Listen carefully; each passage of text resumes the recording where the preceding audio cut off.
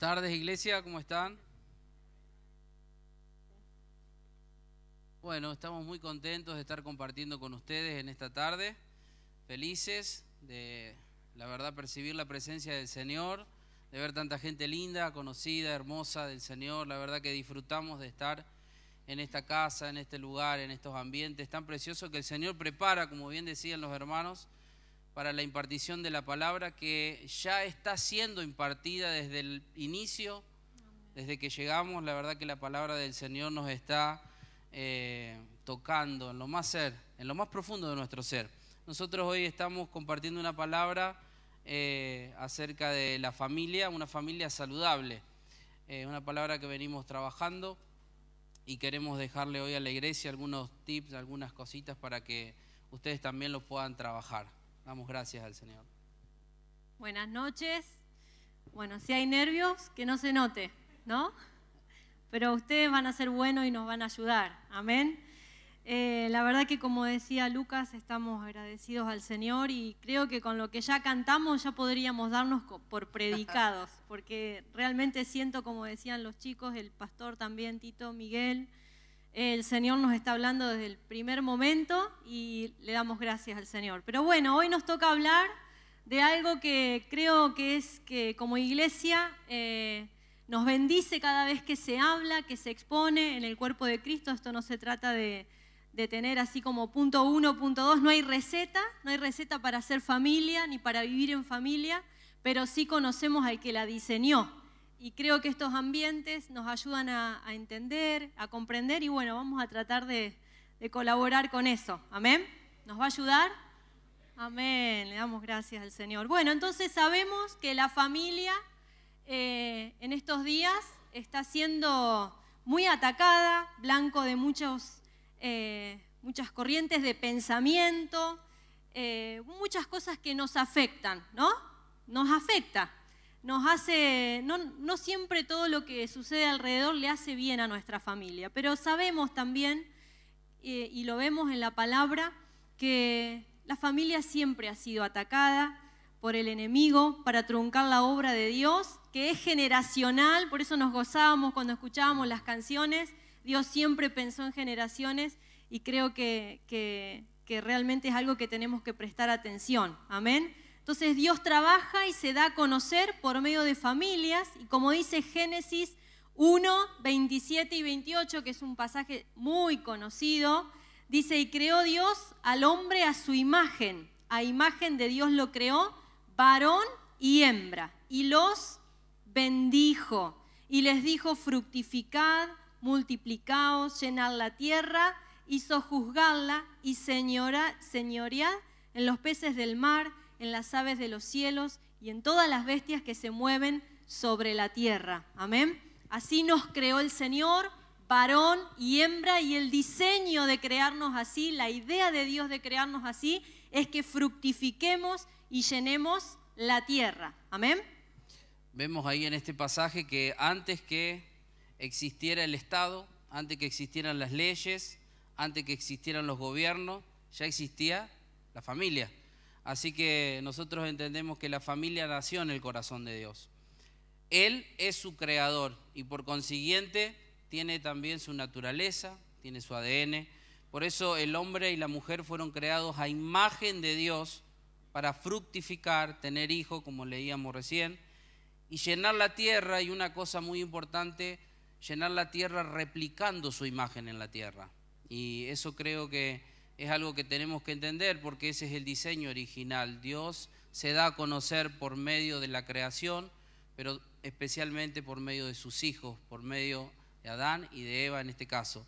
Volvamos al origen de la familia, donde todo comenzó para conocer y comprender el propósito con el que fue diseñada. La palabra nos muestra que el Señor al séptimo día descansó, todos conocemos las escrituras, y él descansó, podríamos decir, porque tenía a alguien, a una familia que estaba expresando su voluntad, su señorío y su gobierno en la tierra.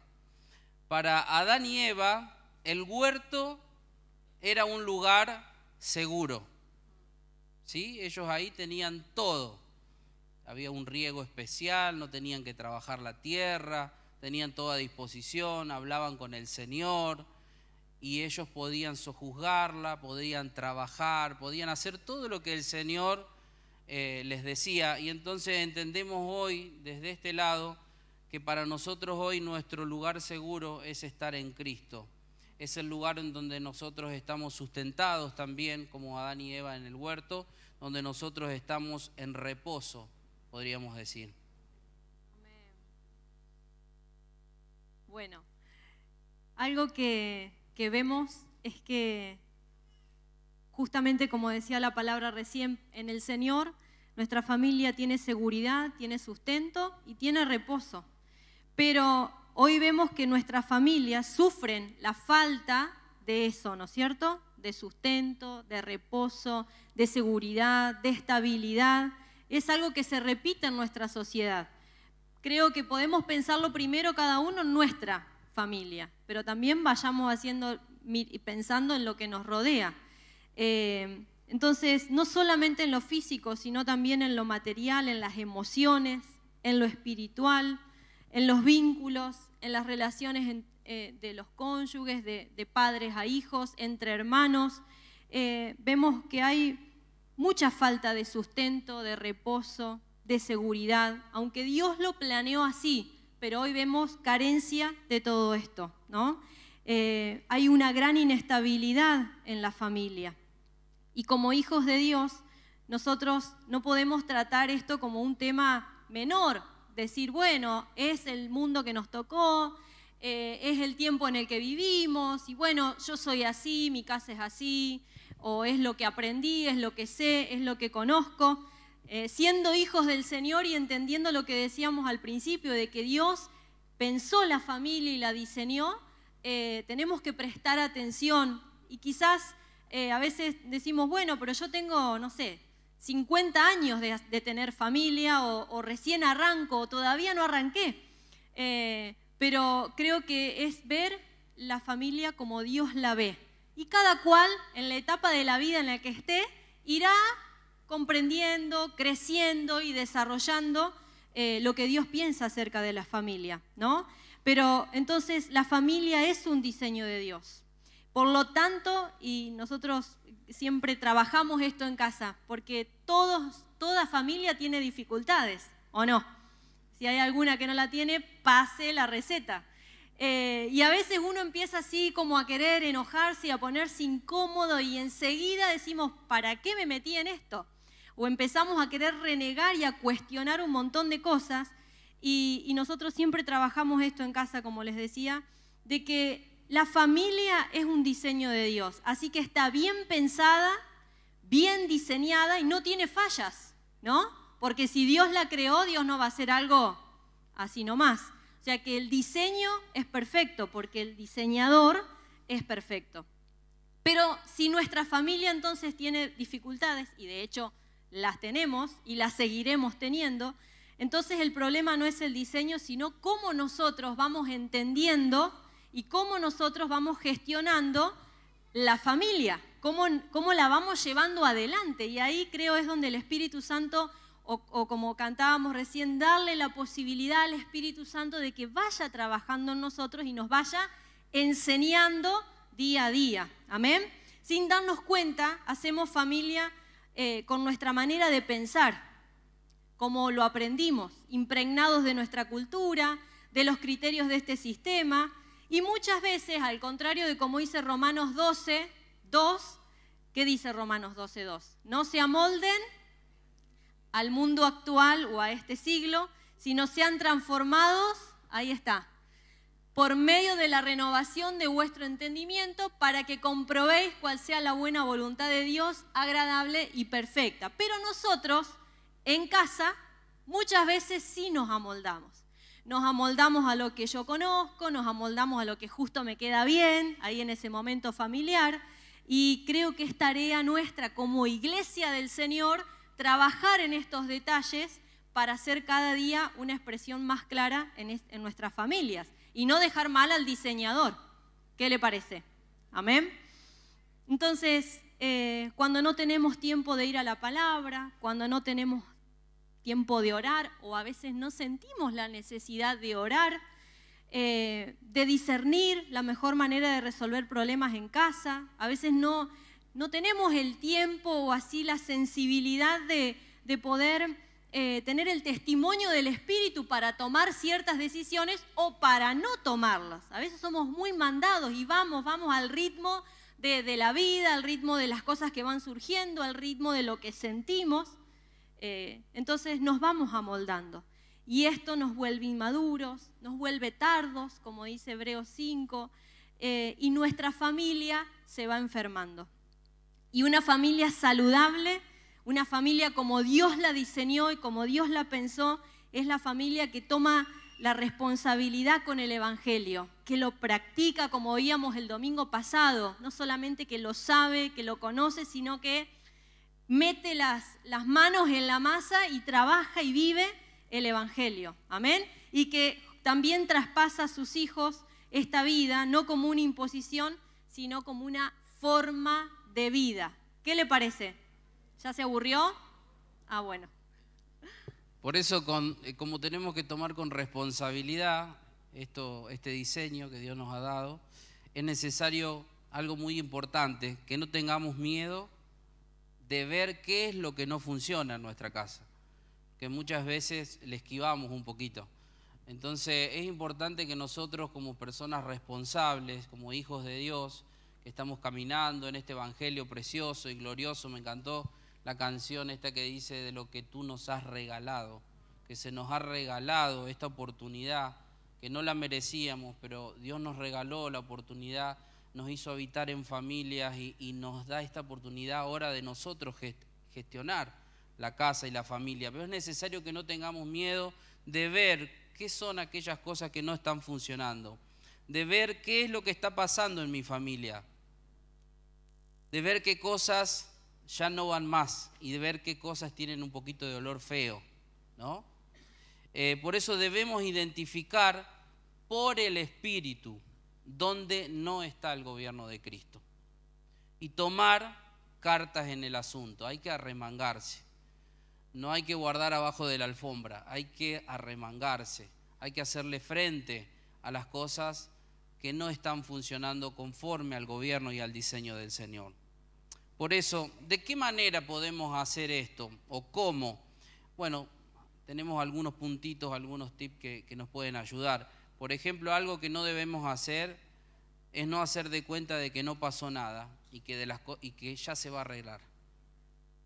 Que eso es una actitud que a veces tenemos. ¿no? Bueno, ya va a pasar y el tiempo pasa y pasa y pasa y las cosas no se arreglan, sino que perdemos tiempo y cada vez las cosas se agravan o se agrandan mucho más. Por eso eso es algo que debemos hacer. No aislarnos, otro punto. Cuando uno se aísla, se pierde en su propio razonamiento. Por eso nosotros debemos contar con la iglesia de Jesucristo, con el cuerpo de Cristo, vincularnos con gente correcta, rodearnos de gente responsable, consultar, vincularnos con hermanos en la fe que tengan un testimonio aprobado, ¿sí? que, que nos puedan ayudar, que nos puedan ministrar una palabra certera del Señor y que nos ayuden a poder hacerle frente a aquellas cosas que estamos identificando. Y algo que todos sabemos, pero que nos cuesta, como hablábamos recién, orando, ayunando, teniendo un tiempo para el Señor aparte. Sabemos que estas son cosas a lo mejor básicas, pero que, que también eh, la iglesia tenemos que volver como iglesia a estas pequeñas cosas o a estas primeras cosas, de dedicarle un tiempo al Señor en el secreto, de orar.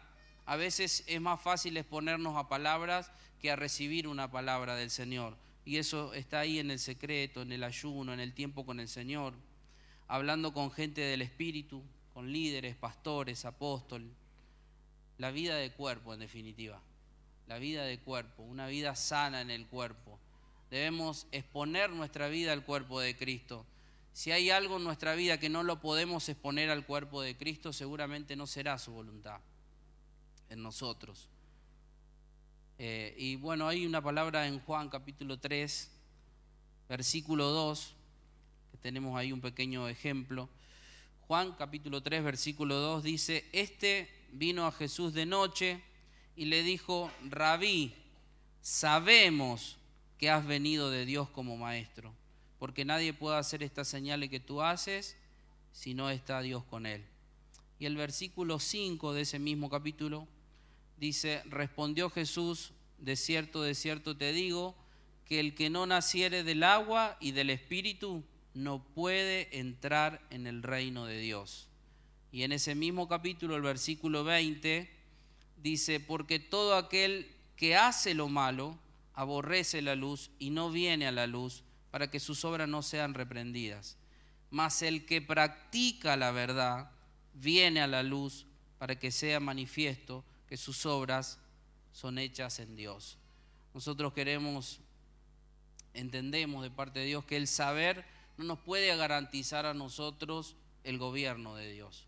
Podemos saber muchas cosas, podemos exponernos, esto que le decía, a muchas palabras y repetir palabras sin un entendimiento o con entendimiento, pero sin la capacidad de obedecer, que solo viene por exponernos al Espíritu Santo.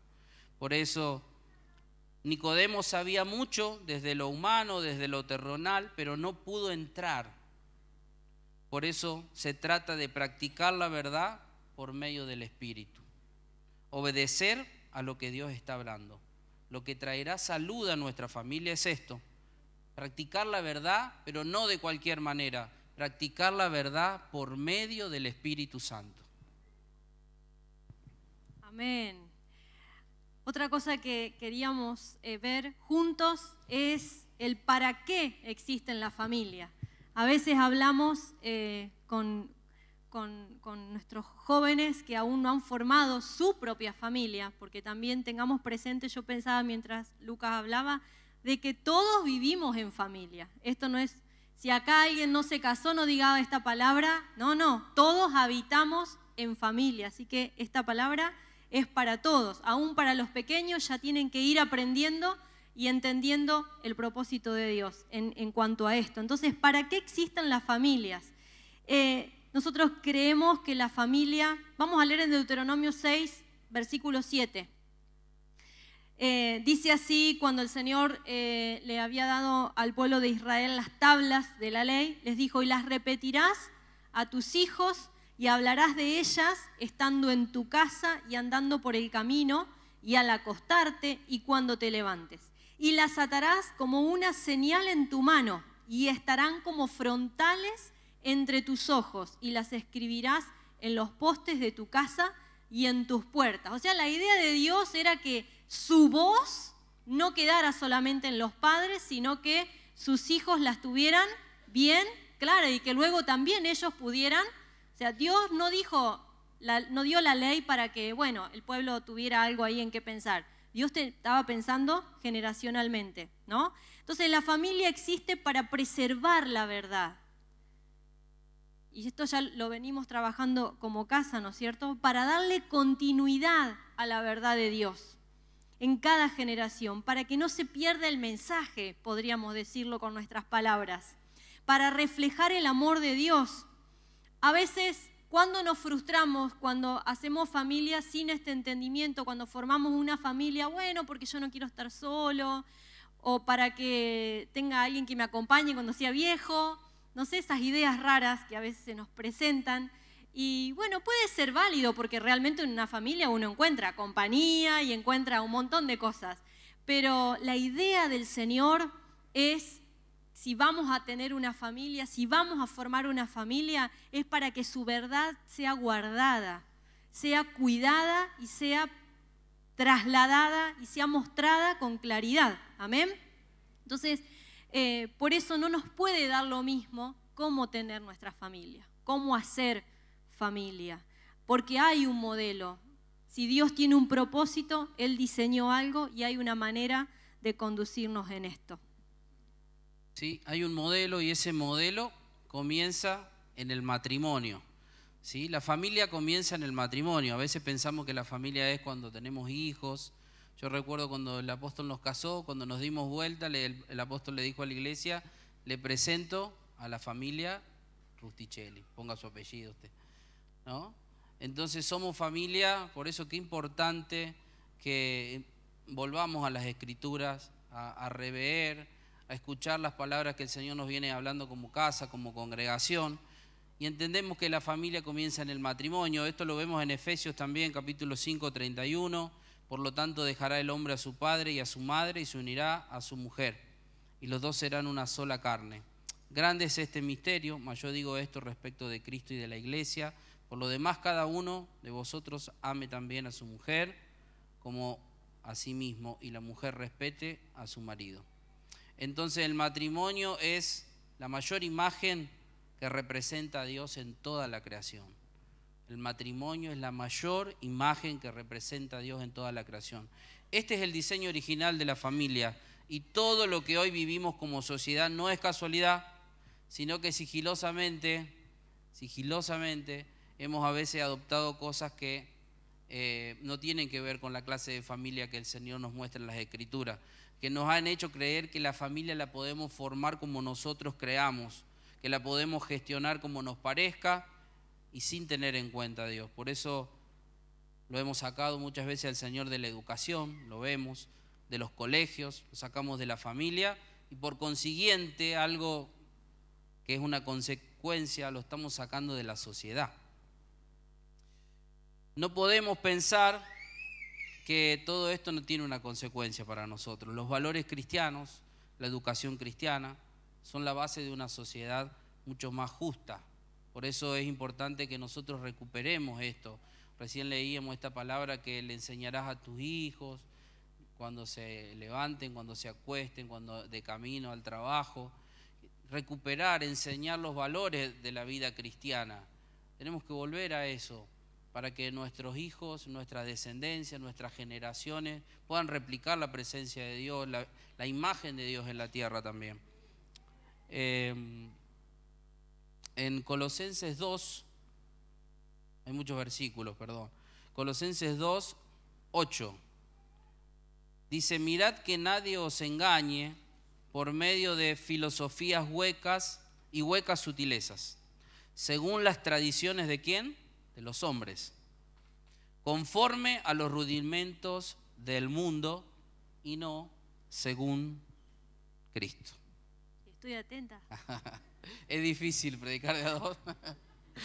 no, estaba pensando mientras eh, esto de que es eh, una intimidad, pero viste ahí donde dice, las repetirás a tus hijos y hablarás de ella estando en tu casa y andando al acostarte. A veces la situación de acostar a los niños o de levantarnos, imagínate ese chip ahora, ¿cómo hago? Yo ya estaría renunciando. Creo que no tenemos que tomarlo literalmente, sino la esencia, ¿no? Hoy nuestro ritmo de vida, donde creo que donde nos equivocamos como hijos de Dios, en decir, bueno, después lo hago, después lo hago, más tarde, es tener la intención y estar atentos cada minuto, cómo enseño esto, cómo imparto esto, orar por nuestros hijos, orar por nuestro cónyuge, orar eh, para que el Señor nos dé la estrategia. Cada casa debe hallar su estrategia. Si usted va a casa y siempre decimos con lo que más confianza, hay ciertos horarios que ya cuando te vas acercando a la puerta no vas a encontrar o a escuchar precisamente alabanzas que fluyen así.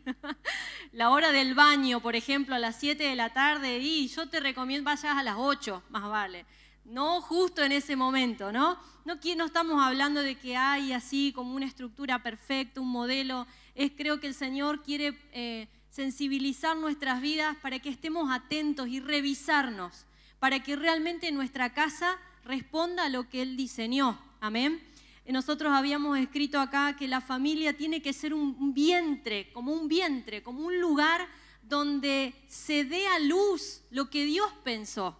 Amén. Sea que haya hijos, que no los haya, porque todos tenemos la capacidad de reproducir en alguien lo que Dios ha hablado a nuestro corazón. Amén. Pero a veces las muchas cuestiones diarias nos enojamos o estamos peleados, en casa no pasa, eh, o renegamos muchísimo el trabajo, las cosas de la vida, y uno a veces desatiende y olvida por qué hacemos lo que hacemos, por qué somos lo que somos en casa. Y creo que ahí es donde nos vamos deslizando del propósito de Dios y que tanto daño nos hacen, porque luego los vínculos se rompen, luego hay un montón de cuestiones que uno va así dejando pasar y no, por no prestarles atención, después los problemas son mayores. ¿A quién no le ha pasado? Amén. Ayúdeme. Entonces la familia tiene que ser un vientre profético, un lugar seguro donde se imparte vida. Amén. La familia para Dios es un lugar de alimento, de nutrición para el crecimiento y el desarrollo de la imagen de Dios. La familia es un diseño divino para preservar su verdad en las generaciones. Sea como sea nuestro hogar, con la forma a la que cada uno le dé a su casa, pero que la esencia del Señor esté y se esté expresando. Amén. Todos tenemos que encontrar un momento del día. Eh, nosotros recuerdo una vez estábamos como un poco atribulados porque no nos queríamos hacer el altar, nos habíamos imaginado una, como una estructura y dentro de lo que somos no encajaba la estructura y nunca empezaba el altar y nunca terminaba y terminaba en pelea, imagínense la frustración, los chicos chiquitos, entonces hasta que entendimos y nos enseñaron esto a la manera de ustedes, hay un horario, hay una forma donde la presencia de Dios tenga ese lugar para sellar, para sanar, para pedirnos perdón, las cosas cotidianas que Dios requiere de nuestros hogares. Amén. Amén. Sí. En la normalidad, en la normalidad del día a día es así. Todos tenemos casas diferentes, todos somos diferentes y el Señor no se asusta de nuestras diferencias y de nuestras cosas. Así que las relaciones en la familia muchas veces o vemos que están enfermas y están distorsionadas y los vínculos matrimoniales o con los hijos muchas veces pierden el propósito. Ahí en Salmo 127, 1. Eh, si Jehová no edifica la casa, en vano trabajan los que la edifican. Si Jehová no guarda la ciudad, en vano vela la guardia. Por lo demás es que os levantéis de madrugada y que vayáis tarde a reposar y que comáis pan de dolores, pues a su amado dará Dios el sueño. He aquí, herencia de Jehová son los hijos cosa de estima el fruto del vientre, como saetas en manos de valiente, así son los hijos habidos en la juventud. Bienaventurado el hombre que llenó su aljaba de ellos. No será avergonzado cuando hablare con los enemigos en la puerta. Por eso los diferentes males de la sociedad vienen por una distorsión en las relaciones familiares. Esta distorsión es tan grande a veces que produce cosas por ejemplo, un ladrón vive en una familia, un abusador tiene una familia, un corrupto tiene una familia. Todos nosotros tenemos familias y venimos de una familia. Ahora, algo que siempre nos preguntamos es, ¿bajo qué valores nosotros vivimos en familia? ¿Qué valores tiene mi casa? ¿Sabés qué es lo que Dios espera de, de tu casa? ¿Sobre qué principios está fundamentada nuestra familia? Eso es una pregunta que siempre nosotros nos hacemos porque tenemos que revisar, debemos revisar, revisar si la familia que nosotros hemos formado o la familia que tenemos está basada en nuestro propio entendimiento de cómo se hace familia o si está basada en un entendimiento espiritual bajo la guía del Espíritu Santo. Entonces debemos ser familias que practican la verdad, la lectura de la palabra, la generosidad, la vida de oración, el discipulado, la intimidad con Dios, el estar a solas, sin estar publicando lo que Dios nos dice en familia, en ningún lado. La forma de resolver nuestros problemas en familia habla mucho de nosotros, habla de los valores que tenemos y de quién está gobernando nuestra casa. Amén. Entonces, eh, estar en el Señor como lo estamos todos no garantiza su gobierno en nosotros. Tenemos un trabajo que hacer, tenemos una, una responsabilidad que asumir. Y es, como también escuchábamos el domingo pasado, que esta palabra nos, nos atraviese, que la podamos incorporar y se vuelva parte de nuestra vida. Amén.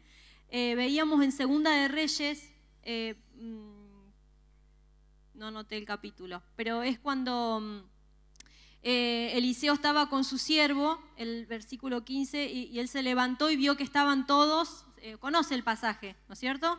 A punto de atacarlos y el siervo del profeta, ¿qué hizo? Entró en pánico. Y el profeta Eliseo le dijo, no tengas miedo, porque más son los que están con nosotros que los que están con ellos. Y oró Eliseo y dijo, te ruego, Jehová, que abras sus ojos para que vea. Entonces Jehová abrió los ojos del criado y miró, y he aquí estaba lleno de gente de a caballo y de carros de fuego alrededor de Eliseo. Amén. Y todos podemos hoy, en alguna situación de nuestra casa, de nuestra familia, ser ese siervo. Nosotros nos congregamos, amamos al Señor, le servimos. ¿Cuántos sirven al Señor? Amén.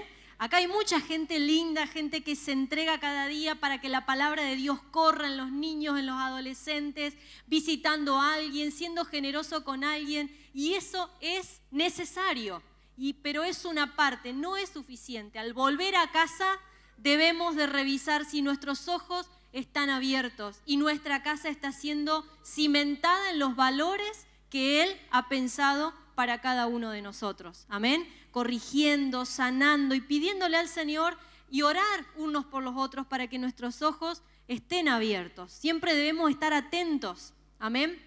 A veces siendo, eh, congregándonos y amando al Señor y teniendo una vida con Él, confiamos que todo se va a resolver. Y es cierto, en Dios vamos a salir victoriosos, pero muchas batallas las tenemos que librar en casa.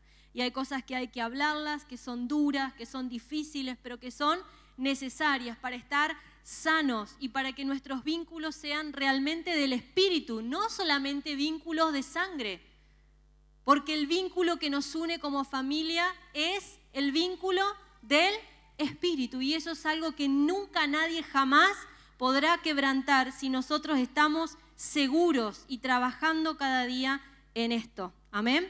Entonces no demos por sentado que sabemos. Dependamos del Espíritu Santo en cada paso en nuestros hogares. Qué importante, hermanos, depender del Espíritu Santo. Eh, en la palabra de Dios recién decíamos que no hay familias perfectas. Y eso me encanta, porque en la palabra de Dios, cuando uno va leyendo, estudiando las escrituras, podemos ver eh, gente hermosa de parte del Señor. Por ejemplo, David, un hombre conforme al corazón de Dios, pero cuando leemos un poquito y empezamos a ver, tuvo unos errores tremendos que todos conocemos. Vemos también, por ejemplo, Abraham, que se equivocó, tuvo un hijo con la con la criada. Eh, David, dijimos recién, y si nos vamos más atrás, Caín mató a Abel, a su hermano. Elí, que era un sacerdote que no corregía a sus hijos, siendo complacientes con el pecado de ellos. Entonces, yo recién le decía, el Señor no se asusta ante las familias que son imperfectas, sino que Él está dispuesto a trabajar con nosotros, a restaurarnos, a sanarnos, a traer su dirección y su perfeccionamiento en nuestras vidas. Pero debemos hacer algo, disponernos a entender, disponer nuestro corazón para entender y someternos a la voz del Espíritu Santo y darle el valor a este diseño de familia que se merece. No se puede hacer familia de cualquier manera, pero yo quiero declarar en esta tarde hermosa, esta presencia del Señor que hay en este lugar, que nosotros creemos que si Dios gobierna nuestra casa, todo tipo de dificultades que se presenten en el matrimonio, con los hijos, la finanza, la salud, eso tendrá una salida victoriosa. Creemos firmemente que en el conocer la voluntad de Dios y en el disponernos a obedecerla está la clave para tener una familia plena y completa y también muy saludable. Que podamos disfrutar de la vida y manifestar una naturaleza distinta a esta sociedad. Y esto también afectará de manera significativa a todos los lugares en donde nosotros estamos, nos movemos, donde vivimos. Creemos que por medio de una vida de fe, todos los vínculos rotos o heridos serán sanados y reestablecidos para que la paz de Dios gobierne la casa y sea vista por medio de tu familia. Amén. Y bueno, y ya para ir cerrando eh, y pensando en todo esto que hemos hablado, nosotros sabemos que eh, hay muchas cosas que vienen a, confundirnos. Y queríamos leer en Mateo capítulo 4, versículo 1, es un pasaje muy conocido que nos cuenta acerca de, la, de cuando Jesús fue tentado, llevado al desierto para ser tentado y probado. Dice, luego el Espíritu llevó a Jesús al desierto para ser tentado por el diablo. Y después de ayunar 40 días y 40 noches, tuvo hambre. El tentador se acercó y le propuso, si eres el Hijo de Dios, ordena a estas piedras que se conviertan en pan. Y todos sabemos lo que él hizo. Comió un rico pan. ¿O no? No. ¿Qué dijo? Escrito está, no solo de pan vivirá el hombre, sino de toda palabra que sale de la boca de Dios. Entonces vemos que Jesús fue probado y como también venimos escuchando hace un tiempo que cuando Dios nos cuando somos probados, ¿para qué es? Para ser aprobados. Y en, en, esta situación el Señor le estaba probando a Jesús para aprobarlo y para poder confiarle la posibilidad de salvar a la humanidad, porque Dios siempre nos aprueba para delegarnos una responsabilidad mayor. Amén. Entonces, ¿tenía el poder Jesús, usted qué piensa, para, para convertir las piedras en pan? Y sí, pero ¿por qué no lo hizo? Y nosotros veíamos dos cosas. Primero, él pudo discernir de quién venía la propuesta. ¿no? En, en, la versión que leíamos nosotros dice, el tentador se acercó y le propuso, si eres el Hijo de Dios, ordena a estas piedras que se conviertan en... Y él pudo discernir de quién venía la propuesta. Y como familias, como hijos de Dios, nosotros tenemos que ser capaces también de discernir, de distinguir, de tener una mirada clara de lo que está sucediendo. Y eso en el día a día no es una tarea sencilla. Cuando estamos ahí en las corridas del trabajo, del cansancio y de tantas cosas, eh, pero tenemos que tener ese entendimiento espiritual de lo que está sucediendo y no solamente emocional, no de lo que sentimos desde el apuro. Eh, él tenía hambre, porque había estado 40 días, ¿no? Sin comer. Sabía que en ese momento no era más importante el hambre que él tenía que lo que Dios quería probar en su corazón. La prueba en el desierto para Jesús no era ver cuántos días él aguantaba sin comer, ¿no? La prueba era, Dios estaba probando su corazón. Si él era capaz, si él tenía la capacidad de soportar una necesidad propia hasta que Dios le trajera el sustento, ¿no? Entonces, nuestras familias también pasamos por necesidades, un montón de necesidades, no solamente pensemos en las necesidades materiales, ¿sí? Pero también tenemos que ver y poder discernir de dónde vamos a obtener la respuesta a esa necesidad. Si vamos a recurrir a lo que el sistema nos ofrece, si vamos a recurrir a lo que tenemos ahí alrededor o vamos a poder esperar la voz de Dios que traiga su sustento, su guía y su dirección. Jesús dijo, no, escrito está, no solo de pan vivirá el hombre, sino de todo lo que sale de la, voz de la boca de Dios. Para nosotros en este nuevo pacto la vida del Hijo de Dios está en nuestro interior. Amén. Ese Jesús que estaba ahí, que tenía la posibilidad de convertir esas piedras en pan, hoy nos habita. Hemos sido trasladados al reino de la luz. ¿Cuántos dicen amén? Portamos su presencia. Somos la expresión de Dios en la tierra. Dios nos ha investido de poder, porque después de Pentecostés, la iglesia ya no fue más la misma. Fue un crecimiento exponencial, no, no fue la, vida del Espíritu es una gran ventaja y nosotros la tenemos. Amén. Pero como iglesia, como familias, iglesia que somos, muchas veces en el apuro, en la necesidad, en el no saber cómo resolver o el no querer que, las cosas salgan de nuestro control, terminamos convirtiendo piedras en pan para nuestra casa, para nuestro matrimonio, para nuestros hijos, tomando ideas de este mundo, ideas, cuestiones, maneras de resolver la vida que no son a la manera de Dios.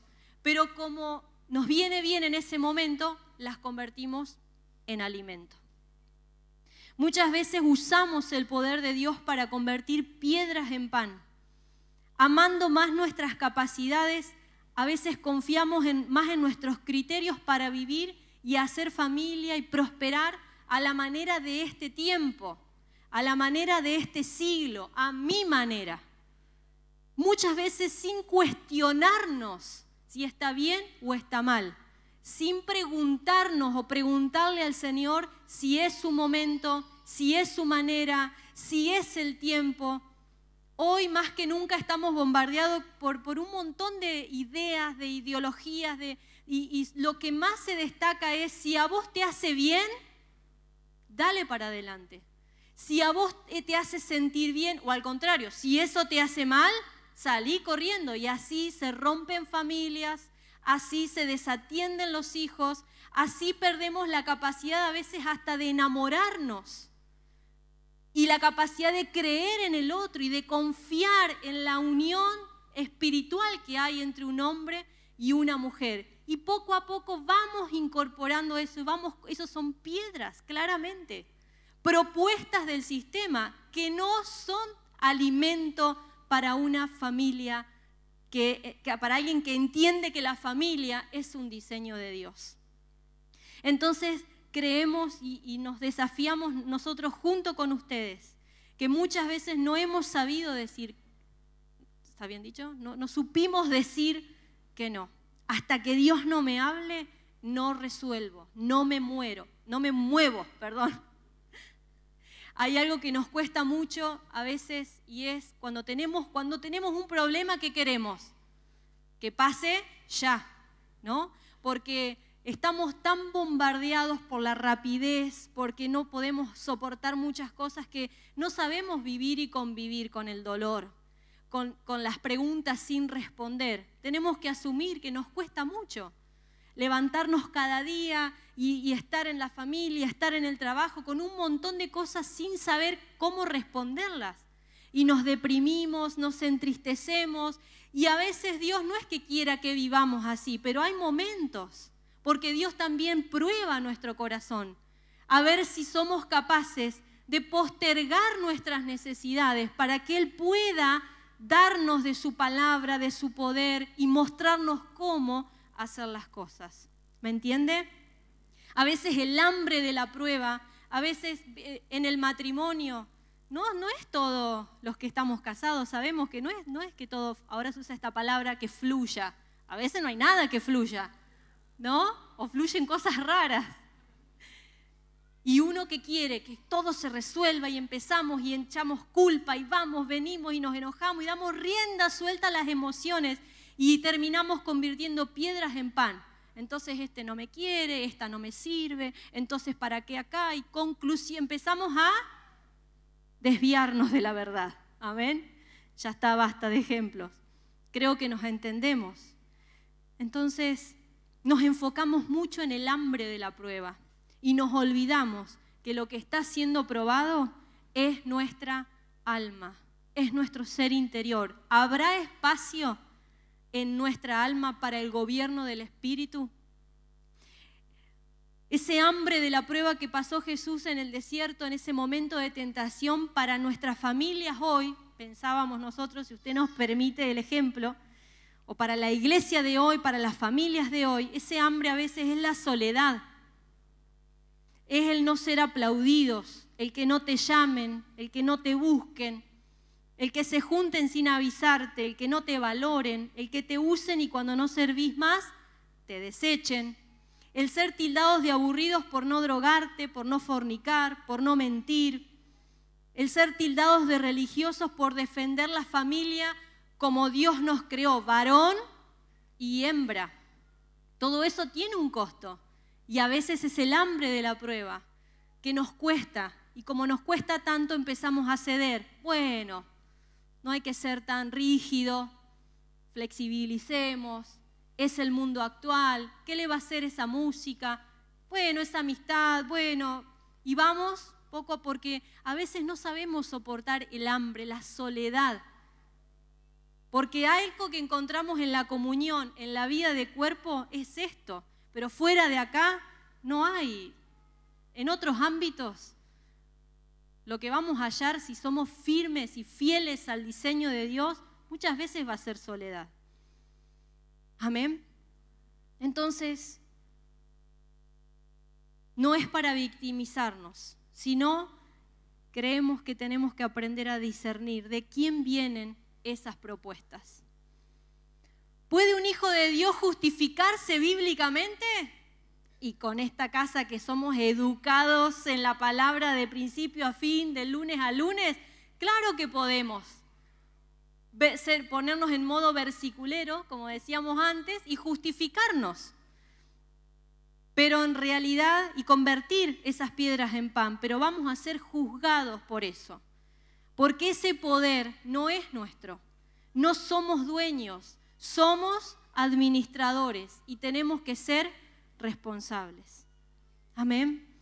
Nosotros creemos que nuestras familias están siendo probadas para ser aprobadas y confiarnos la vida saludable que el Espíritu Santo puede traer para ayudarnos en cada desafío matrimonial, en cada desafío con los hijos, en cada desafío entre hermanos y aún aquellos que no han formado su propia familia, en la familia en la que habiten. Amén. Pero seremos y tendremos que ser aprobados para que se nos sea confiada esa vida saludable que solo en Él podemos hallar. Amén. Les animamos a que puedan ponerse de pie, si Ezequiel, los chicos nos ayudan. Queremos aprovechar esta palabra acerca de la familia para que puedas, si tenés a tu familia ahí al lado, o si estás solo, podés arrimarte a una familia, podemos hacer una oración. Nosotros también habitamos en la familia de la fe. Somos familia. Tal vez no somos familia de sangre, pero somos la familia más importante que es la familia de la fe. Por nuestra sangre corre la sangre del Señor. Amén. Así que somos hermanos, y somos herederos y coherederos de Dios. Así que ahí donde estás, ¿puedes hacer una oración por tu hermano que está al lado? Señor, te damos gracias por tu palabra.